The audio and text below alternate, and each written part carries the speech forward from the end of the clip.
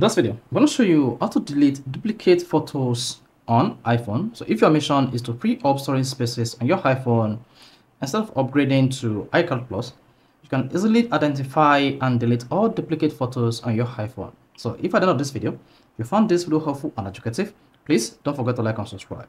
So the first thing you want to do when you want to free up spaces on your iPhone or delete duplicate photos on your iPhone is to open the Photos app and once you open the Photos app, make sure you select Album. Then, while on the Albums page, scroll down and you should see Utilities. Under Utilities, you have four options available here. In my own case, then click on Duplicate. Even before you click on Duplicate, you should see the total number of duplicate photos or images you have on the Photos app or on your iPhone. Then click on that.